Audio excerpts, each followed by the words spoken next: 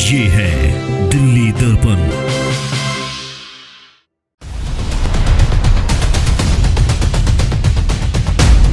साल से मैं पानी ना हम मर रहे यहाँ पे पानी के बगैर। मट्टी आती है इसमें। कभी कभी बदबू भी आती है क्या करें?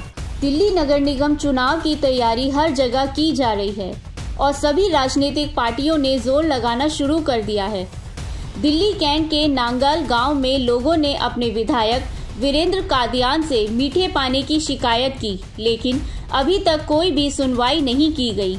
जानकारी के मुताबिक गाँव में या तो पानी आता नहीं है और अगर आता है तो वह इतना खारा होता है कि पीने लायक भी नहीं होता। ऐसा तो उद्घाटन है पानी की तो परेशानी है यहाँ पे सड़क पार से लाते हैं अभी अब हमारे डब्बे खाली पड़े हैं। अच्छा। ये तो काफ़ी टाइम हो गया। काफ़ी टाइम हो रहा है। हम्म, काफ़ी टाइम हाँ। तो बोले थे कि हुआ? हाँ नहीं।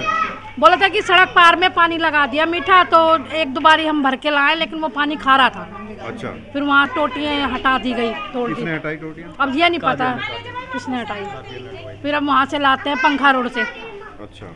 पानी। सब लाती है पूरी नांगल लाती है। लोगों की माने तो पाँच साल पहले विधायक ने नारियल फोड़कर पाइपलाइन का उद्घाटन किया था लेकिन उद्घाटन के बाद गाँव वासियों को पानी के लिए परेशानी का सामना करते देखा गया। अभी तीन तीन साढ़े तीन महीने पहले इन्होंने एक उद्घाटन करा है सीताराम द्वार गेट पे कि हम पानी आपके लिए ला रहे हैं और काफ़ी लड्डू वड्डू भी बांटे गए ज्ञाति भी मारी गई। अब उस तीन महीने प्लस हो रहे हैं यार हो गए हैं पर अभी तक तो ना कोई कहीं काम चालू है ना कुछ है अभी तक। अभी क्या मांग कर रहे हैं?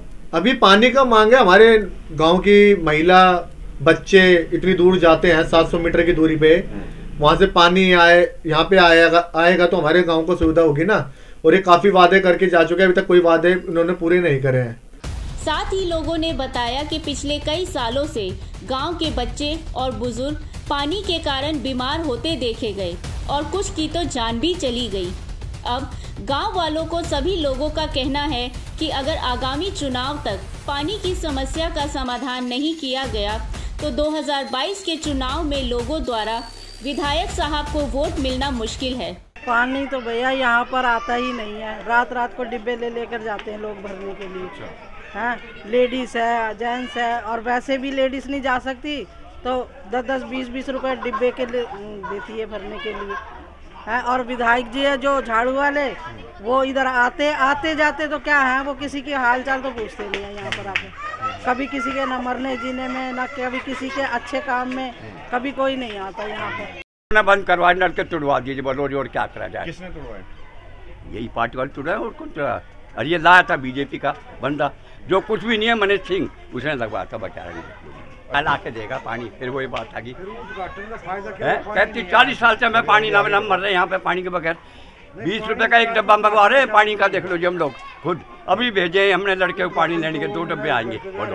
अब देखना यह है कि लोगों की इस समस्या का समाधान विधायक साहब करते हैं या नहीं। बहुत ज़्यादा। कितनी परेशानी होती है और कैसे मैनेज कहाँ से लाते हैं पानी? वहाँ से लाते पंखा रोड से। अच्छा। पानी खत्म हो जाता है तो ये पानी अच्छा नहीं लगता। हम्म। मट्टी आती है इसमें।